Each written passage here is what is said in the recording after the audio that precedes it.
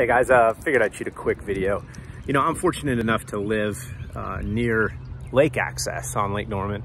And, uh, you know, I just came down here. I was essentially had my head in the computer for days um, and then intermittently, uh, you know, trying to celebrate my son's seventh birthday, uh, which we were able to do, had a great time. But I came down here to the dock just to kind of defrag and I saw a fish on a bed. Yeah, it's late April, almost May, and this is the southern end of the lake, and there are still fish on beds. Uh, this was a fry guarder. I did catch a glimpse of a big female with them that just kind of passed through.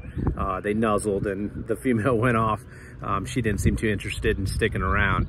But you know, I knew this fish had probably been caught before just based on its location. There's a lot of kids in the neighborhood. Uh, there's also a lot of fishermen. So, um, and, you know, and some of the kids that actually fish in this neighborhood are high school tournament anglers. They are down by the water every day after school. So this fish had probably been busted up several times throughout the spawn.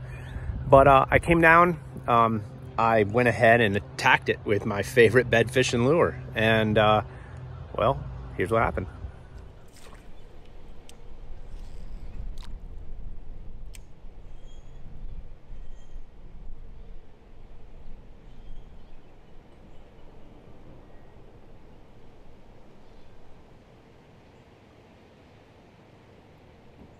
So I pitch back as quickly as possible into the bed, knowing that the, the bass has, you know, followed the vigilante off the bed. But then when he gets back to defending the bed, that vigilante is going to be right back there where he had previously just watched it leave. So it's got to be a confusing, frustrating process for the bass. I'm sure the bass is, is wondering, you know, what got slipped into his breakfast cereal in the morning because, you know, he's, he's seeing things for sure.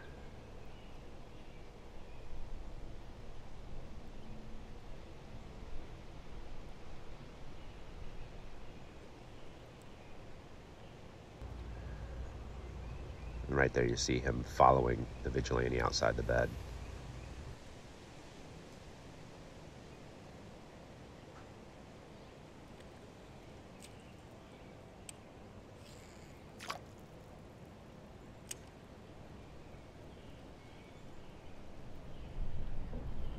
So you're going to see right here, the fish actually grabs the vigilante and you'll see my line kind of trail off to uh, the left of the video camera uh, footage here. So um, that fish has it, he's moved it off the bed. I don't set the hook because I'm not sure he has the bait completely in his mouth.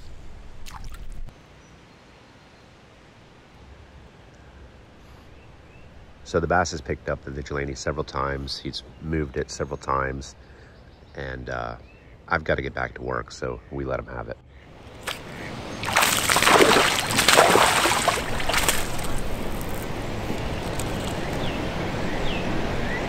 And that right there, folks, is how it's done. So why is the Vigilante such an effective bait on bedded fish? You know, I don't know why. I, I did design it to displace a ton of water, and it does just that.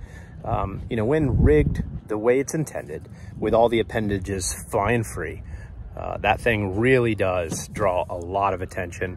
All the paddles, you know, have their own unique movement and it is just something that the bass have not seen before. Now, obviously, like a lot of our baits, the Vigilante is designed to be highly customizable. You can pull off appendages, you can trim it in half and thread it on a Ned rig. There's a lot of things you can do with it to make it different. But as it stands now, it is a bait that, you know, has a very, uh, it has a salamander or a lizard-like profile.